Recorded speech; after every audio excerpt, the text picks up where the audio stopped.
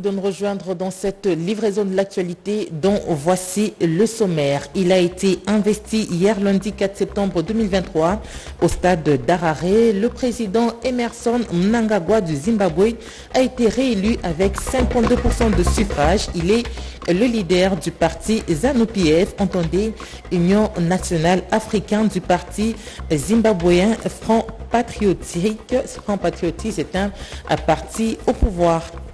Esprit en justice, le procès Bukangalonzo, la remise a été décidée. La partie citée a dit n'être pas entrée en possession des pièces du dossier, ce qui entame le droit de la défense. Et puis, Près de 4000 ménages bénéficient de l'énergie électrique dans la ville de Goma.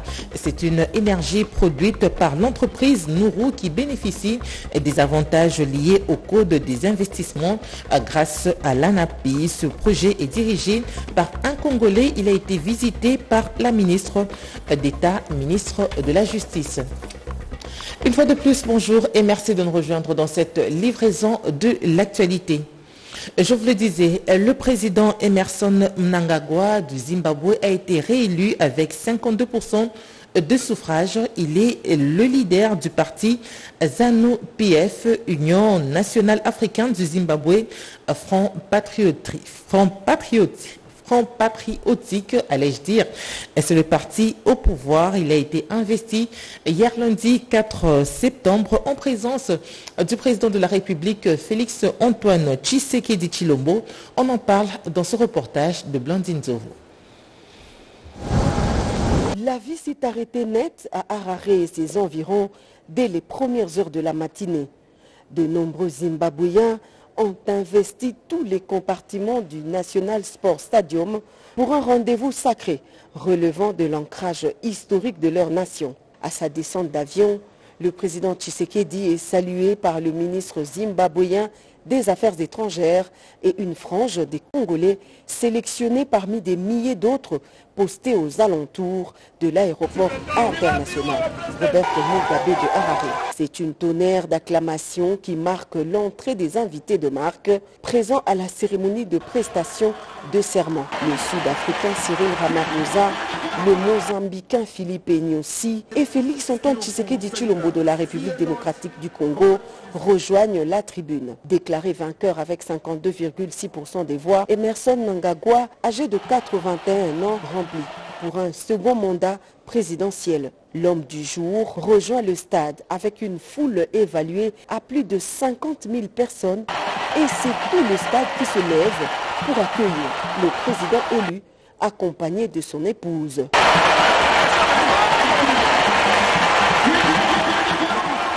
Au pouvoir depuis 2018, le président Nangagwa, successeur de Robert Mugabe, qui avait dirigé le pays depuis son indépendance en 1980, a prêté serment devant la Cour constitutionnelle de son pays avant de prononcer son discours d'investiture pour un second mandat à la tête de l'ex-Rhodésie du Sud. His Excellency, Chilombo President DRC, welcome. Dans sa première prise de parole, Nangagwa prend l'engagement d'offrir à son pays et à son peuple un avenir meilleur sur base d'une série de réformes applicables dans tous les secteurs de la vie nationale. Ce jeune État de l'Afrique australe, indépendant 20 ans après la République démocratique du Congo, est membre avec la RDC de la SADC et des autres organisations régionales. Sous la présidence de Mzé Laurent Désiré Kabila, les forces armées du Zimbabwe avaient combattu aux côtés des FRDC pour défendre la ville de Kinshasa face à l'attaque rwandaise. Actuellement, dans le cadre de la SADC, le Zimbabwe a donné son accord pour participer à la force régionale de la SADC en vue de combattre les forces terroristes du M23 soutenues par le Rwanda.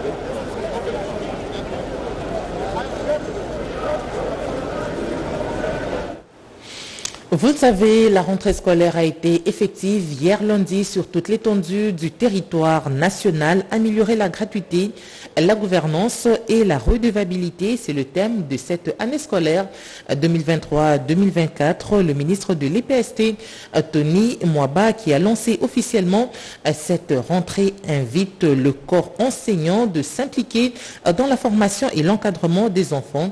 C'était dans le quartier Tchad derrière l'université de Kinshasa, Anastasie Dumbo. C'est parti pour l'année scolaire 2023-2024 sur toute l'étendue de la RDC et c'est là après deux mois de grandes vacances pour les élèves de l'EPST. Cette année, le ministre Tony Mouabaka Zadi a ciblé l'école Moulin Kwasampo située au quartier Tchad derrière l'université de Kinshasa, école nouvellement construite dans le cadre du programme de développement des 145 territoires pour lancer la rentrée des classes ce lundi 4 septembre 2023. L'objectif de cette année scolaire, améliorer la qualité de l'enseignement, la bonne gouvernance et la redevabilité.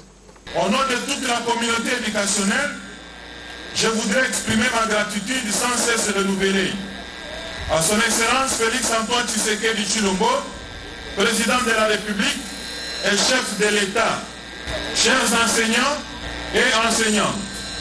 Nous devons tous contribuer, chacun en ce qui les concerne, pour faire asseoir une économie du savoir en mettant l'accent sur le développement harmonieux de nos élèves. Ressources pour notre pays qui aspirent à l'émergence. Orientons-le vers une totale expression de leur savoir et de leur créativité. Une journée de joie pour les élèves de vivre les retrouvailles avec leurs camarades et faire connaissance avec les nouveaux inscrits qui font leur premier pas à l'école. Une occasion pour le ministre de l'EPST de rappeler les grandes réalisations de son secteur de l'année scolaire passée. Tony Mwaba a demandé l'implication de tous les partenaires éducatifs pour la matérialisation de la vision du chef de l'État, Félix Antoine Tshisekedi Chilombo, centrée sur la gratuité de l'enseignement fondamental en République démocratique du Congo. Quelques objets classiques ont été remis aux élèves par l'UNICEF. Juste après, le ministre a poursuivi son inspection dans certaines écoles de la ville-province Kinshasa pour s'assurer de l'effectivité de la rentrée scolaire 2023-2024. Nos reporters sur le terrain ont fait la ronde de quelques écoles privées comme publiques de la capitale. Constat fait, les portes étaient ouvertes pour accueillir les élèves à l'occasion de la rentrée scolaire 2023-2024. Emmanuel la commissaire. Il est 6h30 à Kinshasa. Les élèves prennent le chemin de l'école. C'est la rentrée scolaire 2023-2024. C'est la rentrée, je suis à l'aise, je me sens un peu comme une princesse. Au lycée Moulende de Matete, par exemple, les élèves se sont apprêtés à un petit exercice de contrôle avant d'accéder dans les salles de classe, histoire pour les responsables d'identifier les élèves qui ont confirmé leur inscription. Avec mon service de la discipline, je suis obligé d'accueillir les enfants, préciser la classe aux enfants. Il y a celles qui doivent faire l'avant-midi, des autres l'après-midi. Dans la grande cour, l'heure a été pour la direction de l'école Moulende de donner quelques instructions aux apprenants pour un bon départ. À l'école maternelle Marie la Berceuse, dans la commune de Limété, la rentrée scolaire a été une nouvelle expérience pour les tout petits, ici accompagnés par leurs parents. Bonjour les élèves. Bonjour que Dieu vous bénisse. À l'ITC Limité, le décor est déjà planté.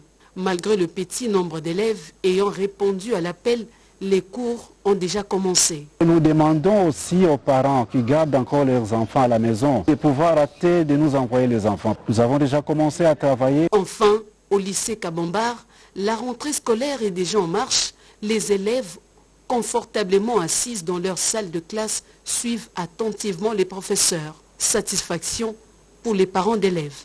La rentrée se prépare dès la fin de l'année. Et les enfants sont là, ils étudient normalement. Pour tout dire, Kinshasa, la mégapole, a vibré ce 4 septembre 2023 au rythme d'une rentrée scolaire apaisée. Rentrée scolaire 2023-2024 dans les provinces du Congo central, Nord Kivu, Kwango, tout à Kinshasa. Les élèves ont retrouvé le tableau noir et les bons. On, fait le point avec Jean-Richard Kwali. Comme prévu, la rentrée des classes a eu lieu ce lundi 4 septembre 2023 sur toute l'étendue du territoire national. Dans le Congo central, la rentrée scolaire 2023-2024 a été bel et bien effective. C'est la ministre provinciale de l'éducation Carole Kiataza Bouitambo qui a procédé au lancement au nom du gouverneur de province Guy Bandou Dungidi dans le territoire de Lukula où plusieurs autorités éducationnelles de la province étaient au rendez-vous dont le directeur provincial du Congo central 1. Dans le Haut-Katanga, au King scolaire, la rentrée des classes a été lancée par la ministre provinciale de l'éducation du Haut-Katanga, Marie-Chantal Kalea, qui a représenté le gouverneur de province, Jacques Kiaboula. Les parents ont été sensibilisés d'envoyer leurs enfants à l'école. Toujours dans la capitale congolaise, au lycée Saint-Germain de Njili, les anciens et nouveaux élèves étaient au rendez-vous. Une occasion pour le préfet de cette formation scolaire, Michel Colin Mombanga, de rappeler le respect de nouvelles instructions établies pour la bonne marche de cette rentrée scolaire. Au quartier Banounou, dans la commune de Matete, à l'Institut Mama Mobokoli, une école nouvellement construite pour la formation des élèves et encadrement des jeunes dont les parents ont peu de ressources financières. Madame Joséphine Mukunji octroie des formations aux enfants démunis dans la ville de Kinshasa, particulièrement dans la commune de Matete. Elle exhorte les parents d'envoyer les élèves à l'école car cette semaine est un moment de contact entre élèves et enseignants. Je vous parlais tantôt du procès Bukangalonzo, à peine l'audience de ce jour ouverte. La remise a décidé, la remise a décidé de, la remise, ça veut dire la partie civile a dit n'être pas entrée en possession des pièces du dossier, ce qui entame le droit de la défense. Edith Chala.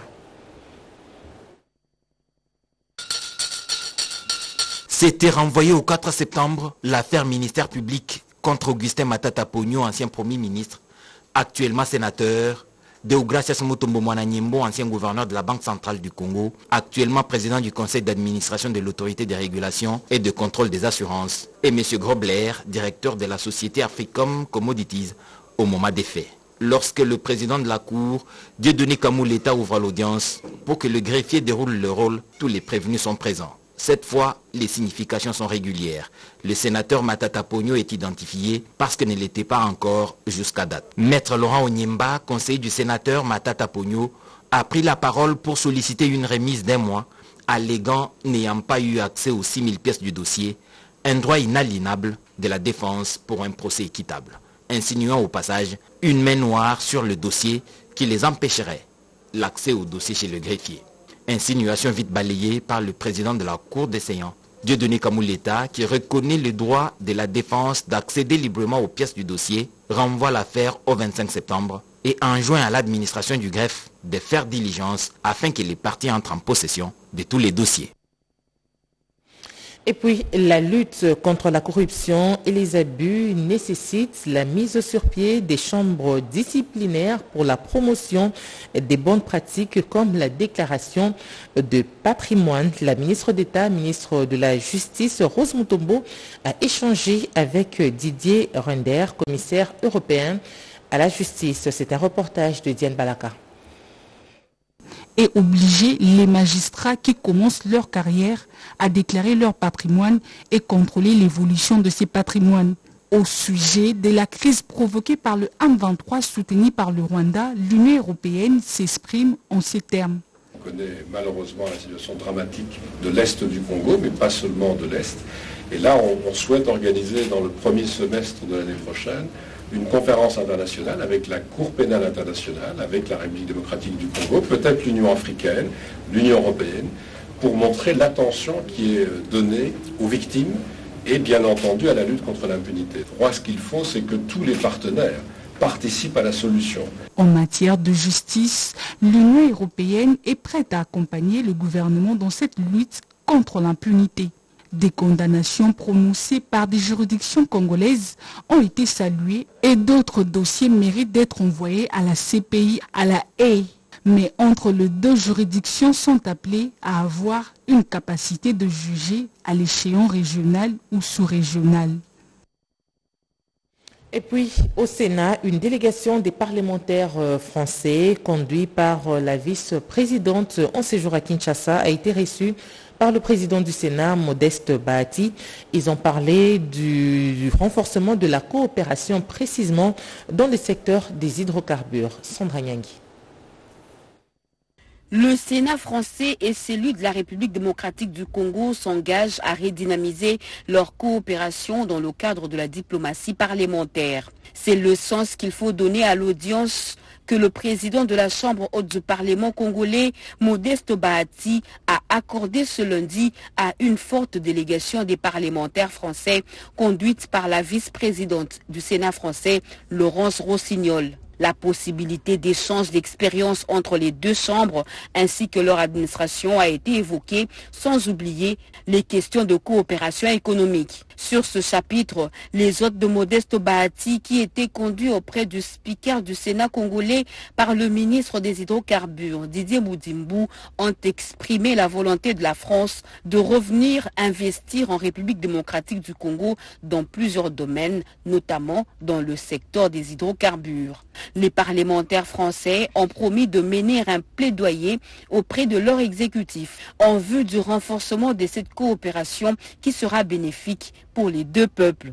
Nous avons partagé la satisfaction avec le, président du Sénat du groupe d'amitié qui existe entre la France et la République démocratique du Congo, ou entre la République démocratique du Congo et la France. Nous avons euh, évoqué euh, cette possibilité de déplacement pour renforcer le travail que nous allons pouvoir faire entre nos institutions et l'échange d'expériences que nous allons pouvoir euh, partager au niveau des parlementaires, mais aussi de nos collaborateurs qui ont un rôle important euh, dans l'institution, mais aussi de l'administration. Et ce sont euh, des coopérations qui se créent régulièrement en, entre pays. Nous sommes ravis, en tout cas, euh, de pouvoir ici le, conforter et faire en sorte que cette diplomatie parlementaire travaille euh, aux côtés de la diplomatie gouvernementale pour que cela bénéficie à l'ensemble de nos peuples. Nous avons euh, des enjeux à partager euh, sur euh, le partage des, richesses, mais aussi la préservation de notre environnement, aussi l'engagement que pourrait avoir euh, la France euh, et euh, plus généralement l'ensemble des dossiers qui vous préoccupent. Le président du Sénat congolais Modeste Bahati Lukwebo a salué la visite de ses collègues parlementaires français qui va contribuer au développement de la RDC par la création de nombreux emplois et la création de richesses. Il a émis le souhait de voir la France venir investir en République démocratique du Congo, surtout avec l'amélioration du climat des affaires que connaît le pays sous l'impulsion du chef de l'État Félix Antoine Tshisekedi Chilombo qui tient à faire de la RDC un pays attrayant en matière d'investissement. La même délégation du Parlement français en séjour à Kinshasa s'est rendue à l'Assemblée nationale où elle a échangé avec le premier vice-président, le professeur André Mbata. Au cœur de leurs échanges, les questions économiques et politiques. André Mbata a également sollicité l'appui de la France à la guerre d'agression dont la RDC est victime. Yvette Makoutima. Le réchauffement des relations parlementaires qu'entretiennent la France et la République démocratique du Congo était au cœur des échanges entre les deux parties. Au sortir de l'audience, le chef de la délégation parlementaire française, Bruno Fuchs, s'est exprimé en ces termes. Nous représentons euh, la RDC et la France, les deux pays euh, les plus importants de l'espace francophone. Et pour qu'un espace francophone se développe, il faut que les pays importants, et les deux plus importants, puissent trouver ensemble les partenariats, la dynamique, pour développer d'abord leurs relations bilatérales, mais aussi l'ensemble de cet espace francophone dont on voit aujourd'hui euh, qu'il est menacé par euh, les nationalismes ou des impérialismes. La délégation des parlementaires françaises espère d'ici 48 heures trouver de grands sujets sur lesquels ils vont décider de travailler ensemble et développer les sujets d'intérêt commun. D'où la satisfaction du premier vice-président de l'Assemblée nationale, André Mbata Betoukoumé. Nous avons échangé sur un bon nombre de sujets les questions économiques, les questions politiques. Et nous n'avons pas oublié également de solliciter l'appui de nos collègues français dans tout ce que nous avons comme défi. Et parmi ces défis, il y a cette question de l'agression rwandaise pour laquelle nous avons soutenu, nous avons demandé aux collègues français d'insister auprès de leur gouvernement pour que la France, nos parlementaires français comprennent qu'ils ont plus à gagner avec la RDC qu'avec aucun autre pays. Nous avons besoin de relations pacifiques et nous avons besoin que cette agression rwandaise à l'Est prenne fin pour le bonheur de notre pays et pour le reste. Pour André Mbatabe Tukumesu, la République démocratique du Congo est prête à travailler davantage avec la France et nous voulons une grande présence française aussi bien pour des questions économiques et culturelles qui ont figuré au cœur des échanges avec la délégation française, a conclu le premier vice-président de la Chambre basse du Parlement congolais. Poursuivant leur rente à Kinshasa, la même délégation du Parlement français s'est rendue à la primature avec le Premier ministre Jean-Michel Sama Lukonde Kenge. Ils ont discuté sur les mécanismes de consolider l'amitié avec la RDC et analyser les opportunités d'affaires. Pati Tondongo. La rencontre entre le Premier ministre Jean-Michel Samalukonde Kienge et une délégation des huit parlementaires français, un signal fort pour le renforcement des liens d'amitié et de coopération entre la République démocratique du Congo et la France, et cela au profit de la population. À entendre Bruno Fuchs, député du Haut-Rhin, sa délégation est à Kinshasa pour aussi analyser les opportunités d'affaires qu'offre le marché congolais. La première euh, des, informations, c'est qu'on a renouvelé, et c'est très important, euh, l'amitié euh, qui lie les, deux peuples.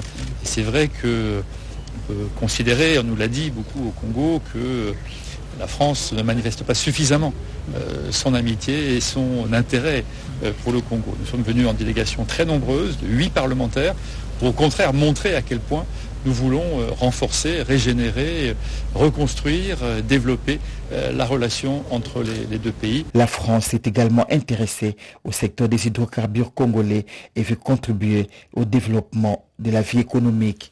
J'ai trouvé d'abord très à l'écoute et très concentré sur les sujets importants de la nation. Voilà, en, très peu de mots, il a tout de suite dit quels étaient les sujets essentiels sur lesquels euh, il voulait voir porter de nouveaux partenariats et toujours, je trouvais très, très à l'écoute et très concentré sur les, les, grands enjeux qui concernent le pays. Ce qui est intéressant, c'est de voir comment un pays qui a des richesses considérables peut les développer. Une fois qu'il les développe, comment il euh, contribue à avoir plus de revenus pour le budget, et donc investir mieux pour les populations. On a également vu quelles étaient les implications de la France, l'intérêt de la France dans euh, la création de richesses au Congo, notamment sur les questions d'hydrocarbures, et, puis euh, bien sûr les questions d'environnement, car aujourd'hui à l'échelle internationale, on ne peut pas exploiter des hydrocarbures sans avoir un, très très fort euh, impact et règles et normes pour garantir les questions d'environnement. Et on sait que le Congo est un des poumons essentiels de la planète en termes de captation de carbone. Et donc ça, il faut le préserver. C'est un chef de gouvernement attentif aux problèmes liés au développement de la République démocratique du Congo que cette délégation a trouvé à la primature. Quittons la primature pour parler de la proximité. Les habitants du quartier de la périphérie de Kinshasa lancent un SOS. Les, érosions gagnent du terrain dans les communes de Ngaliema et Mongafula. Plusieurs maisons se sont effondrées. Les rues disparaissent et enclavent certains coins de la capitale, notamment dans les communes, dans les localités de Kimbondo et Champ de Tir. On en parle avec Joël Kaimbe. La disparition est certes lente, mais tout aussi effroyable. Les uns après les autres, les quartiers entiers disparaissent progressivement dans la périphérie de Kinshasa et les habitants perdent la bataille contre les érosions faute de moyens logistiques. Le cas de figure, commune de Mongafula et Ngaliema, un terrain potentiel aux érosions.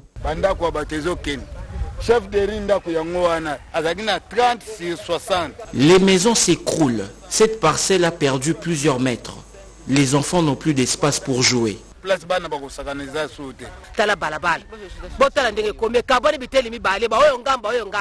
route s'est divisée en deux. Nous sommes séparés de force Aidez-moi à garder ma parcelle, je ne suis pas prête à déménager.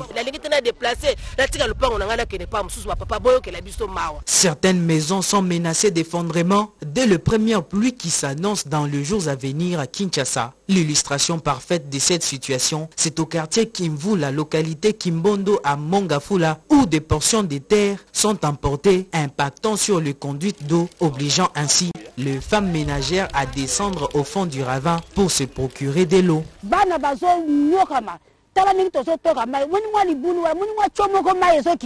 Les enfants souffrent.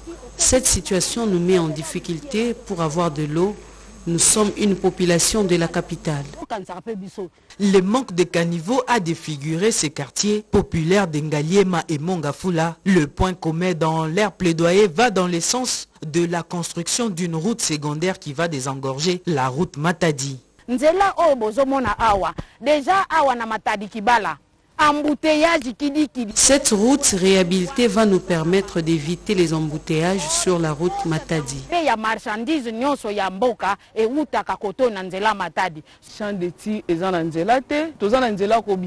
Nous, habitants de champs de tir, nous sommes enclavés. La construction de cette route va nous permettre de relier nos quartiers. Le sort du développement socio-économique des avenues Kandolo, Clartin, Makengo et du quartier Kimvula dans la localité Kimbondo est désormais remis entre les mains des autorités. Rendons-nous à présent à Goma, dans la partie est euh, du pays. Près de 4000 ménages bénéficient de l'énergie électrique. Plus précisément, dans la ville de Goma, je vous le disais, c'est une énergie produite par l'entreprise Nourou qui bénéficie des, avantages liés au code des investissements grâce à l'ANAPI. Ce projet dirigé par un Congolais a été visité par la ministre d'État, ministre du Plomb, Judith Soumimoa Toulouka. Françoise Bolabouaki Pompomba ont signé ce reportage. Un parc solaire de 4000 panneaux. L'électricité hybride produite par cette centrale distribue directement aux ménages de l'électricité dans la ville de Goma qui connaît un gros déficit. Ce projet, à travers l'ANAPI, a bénéficié des avantages du Code des investissements. Nous avons des avantages euh, sur l'exonération de la TVA à l'importation, euh, les avantages sur les, revenus- le- les exonérations sur les revenus annuels, aussi bien que les exonérations sur les impôts fonciers, en fait, qui ont des impacts réels sur le coût d'investissement du projet, mais aussi bien le coût de revient d'accès à l'électricité au niveau des derniers consommateurs. Impressionné par ces idées de génie congolais, avec 56 emplois directs créés, la ministre d'État, ministre du Plan, salue l'esprit entrepreneurial. Nous avons d'abord visité Nourou, qui est ici à Goma une entreprise euh, qui produit de l'électricité à, à partir de panneaux solaires et qui distribue déjà de l'électricité à plus de 3400 ménages ici dans Goma et qui a aussi le projet de s'étendre. C'est impressionnant de voir que c'est un Congolais et il n'a pas eu euh, un financement de banque, etc.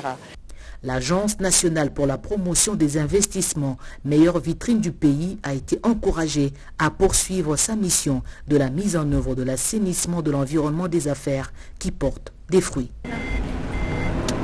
La ministre d'État du portefeuille Adèle Kainda Maïna poursuit son séjour à Sandoa dans la province euh, du Lualaba. Elle est allée euh, pour mobiliser sur les actions du chef de l'État Félix Antoine Tshisekedi Chilombo et lui renouveler la confiance à la magistrature suprême du pays. Angèle Mabiala.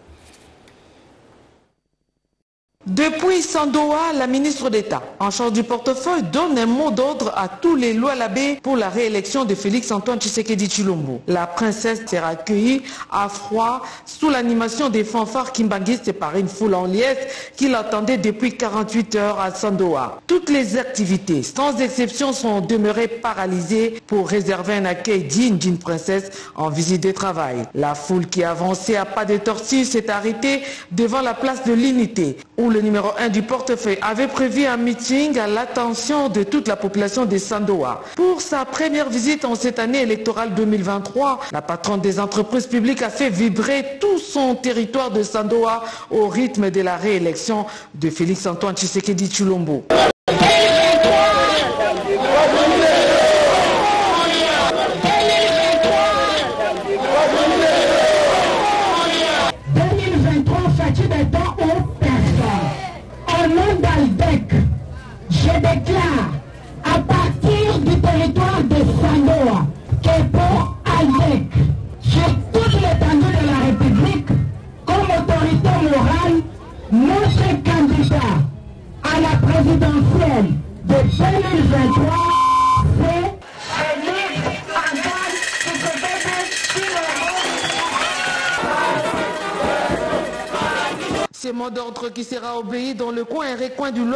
Été suivi des applaudissements, cris de joie et pas de danse de la foule. Avec une délégation de plus de 200 personnes, la princesse Adèle Kainda Maïna n'a pas tardé de remercier toute la population pour l'accueil combien chaleureux après deux jours d'attente, soit 48 heures. Poursuivant son mot devant une population visiblement acquise à son combat, la ministre d'État en charge du portefeuille a annoncé que sa tournée est consacrée à l'action des grâces à Dieu avant de rappeler les circonstances qui ont précédé sa reconduction à la tête du ministère du portefeuille au gouvernement Sama. Ce voyage est considéré comme celui de l'action des grâces envers mon Dieu, a-t-elle dit tout haut. Et tous les environs sont tombés sous le charme de celle qui a été élue et réélue pendant plus de 21 ans à l'Assemblée nationale. Je rends grâce à Dieu. Je suis dans mon terroir. Aldec était planté sur toute l'étendue de la République. Et ça, c'est la démonstration d'Aldec. Et nous disons 2023, Fachi Béton ou personne. Ici sur le boulevard du 30 juin dans le territoire de Sandoa, Olivier Mongondo, Elie Toumba et Angèle Mabiala-Landou pour la radio-télévision nationale congolaise. Merci Angèle pour ce reportage. Les enseignants de la ville d'Issiro étaient autour du gouverneur Christophe Bassiané Nanga. Il les a sensibilisés sur la noblesse dans leur rôle d'éducateur. Reportage. En face du gouverneur Christophe Bassiane Nanga, ce vendredi 1er septembre 2023, dans ce beau cadre de Congo Espoir, tous les enseignants de la ville d'Issiro, tout régime confondu, ainsi que l'a voulu le premier citoyen du Haut-Touélé qui poursuit ses contacts avec les différentes couches sociales. Gardant la même approche pédagogique, l'occasion a été bien indiquée pour les amoureux de la crêpe blanche d'être mis au parfum de la gestion de leur entité depuis un peu plus de 4 ans. Face aux électoraux qui pointent à l'horizon, Christophe Bassiane Nanga les a exhortés non seulement à offrir à la province un poids politique confortable, mais aussi à se liguer autour de son leadership afin de la réélection de Félix Antoine Tshisekedi Chilombo qui a tout donné au Haut-Touélé pendant son premier mandat. Et c'est grâce aux grandes réalisations accomplies par le gouvernement provincial.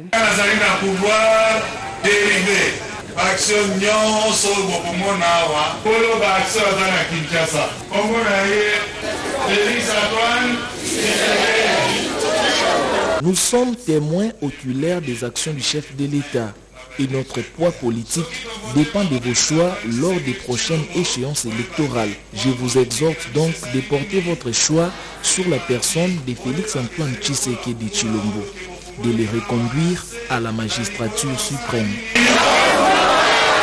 Pour leur avoir offert ce rendez-vous de proximité, une première, les enseignants se sont dit très satisfaits avant de lui rassurer à l'autorité provinciale leur soutien à tous les niveaux. Félicitons cette belle initiative que vous avez adoptée, celle d'entrer en contact direct avec votre population. Signalons que cette série de rencontres a pour mérite de dissiper le mal attendu et stopper net toutes les instrumentalisations dont est victime la population ces derniers temps.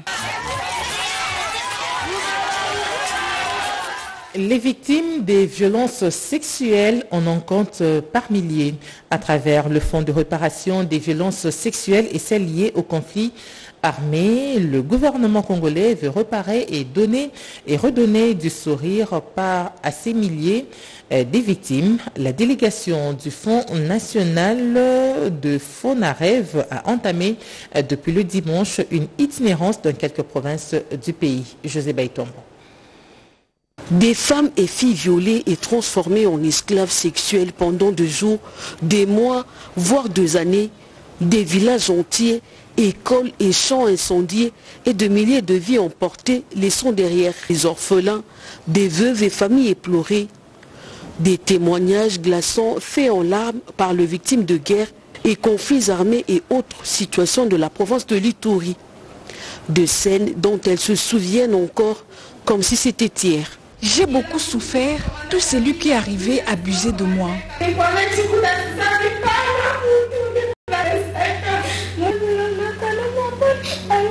Ils ont tué mes parents et m'ont obligé de boire leur sang. Je ne savais pas ce qui était à la base de cette maladie, mais aujourd'hui je souffre de cirrhose de foie.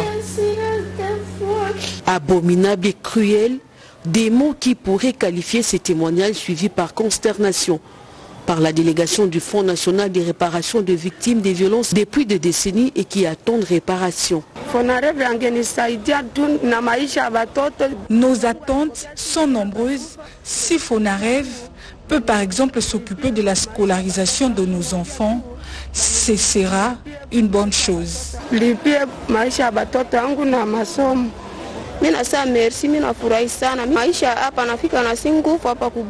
Nous sommes heureuses, mais nous voulons que la paix revienne et espérons rentrer cette fois-ci dans nos droits.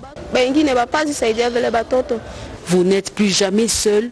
C'est ce message d'espoir du couple présidentiel et de tout le peuple congolais qu'a apporté les fonds rêve à ses victimes. Nous avons tenu à faire cette mission au niveau du terrain ça nous permettra d'avoir des éléments, parce que nous sommes venus tâter la réalité euh, euh, du doigt. Donc c'est-à-dire que nous aurons suffisamment d'informations pour nous permettre de poser des premières actions.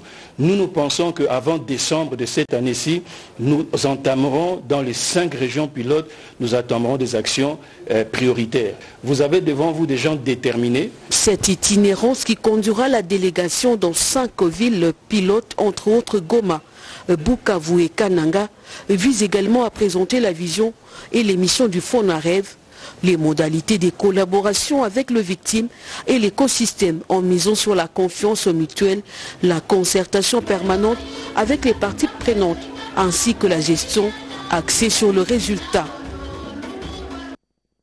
C'est par ce récit douloureux et horrible de José Baitombo que nous mettons un terme à cette livraison de l'actualité. Nous vous disons merci de nous avoir suivis. Merci à toute l'équipe qui a travaillé ce matin à la réalisation Patrick Bakulaya, Moulamba, Jonathan Moubalama. L'équipe technique était assurée par Jean-C. Matondo, Henri Alimassi, Alain Soudi et Papi Voilé. Un journal coordonné par Jacques Abouaba, Monkoumina Sedouga. L'information continue sur nos antennes en français dans les quatre langues nationales. 13h30, Tétis Samba Danae Excellente suite de programme. Portez-vous bien. Au revoir et à la prochaine.